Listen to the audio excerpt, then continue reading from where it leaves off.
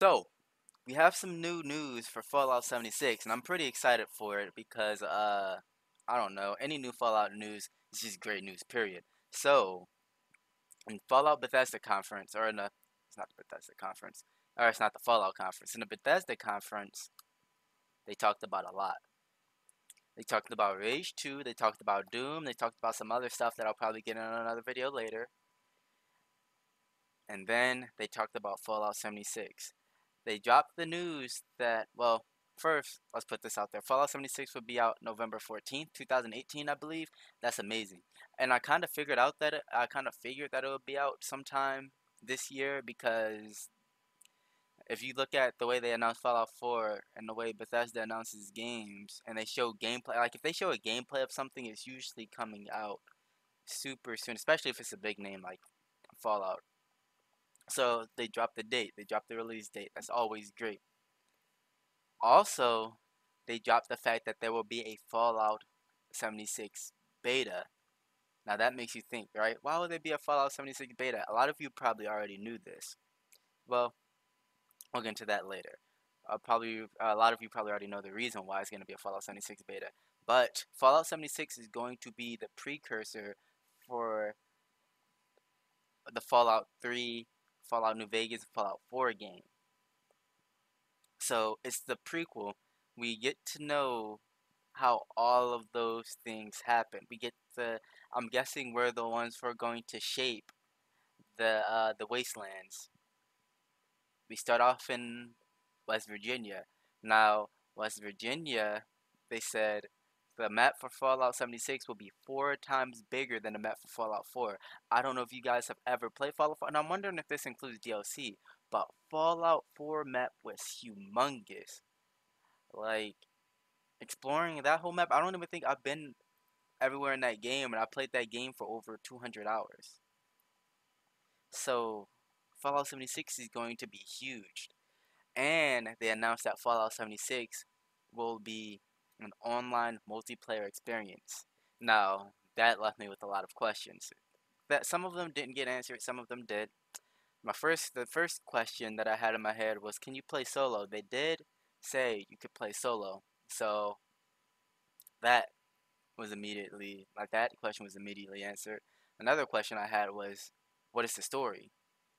We don't really know. Apparently you wake up everyone is already out of the 76 uh everyone that's already out of the 76 bunker.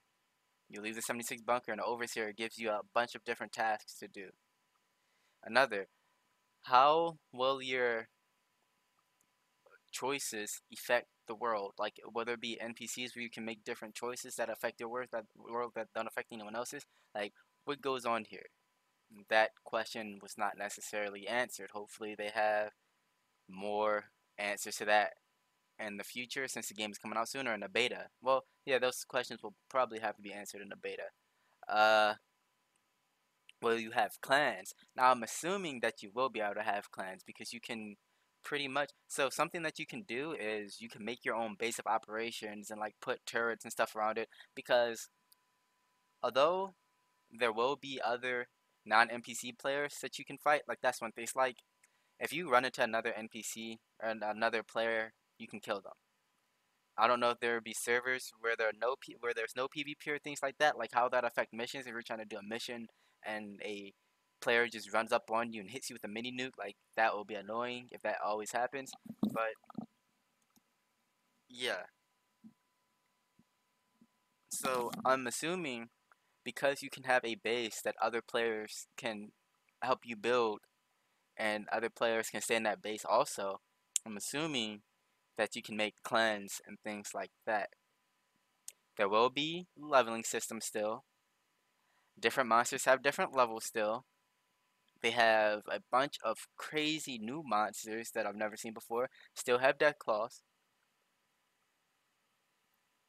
Now, now that I'm thinking about it though, I'm assuming you'll be able to make stuff like the Brotherhood of Steel and the Rangers and things like that, and the Enclave. So yeah, I'm assuming that there will be uh there will be, you know, clans and such.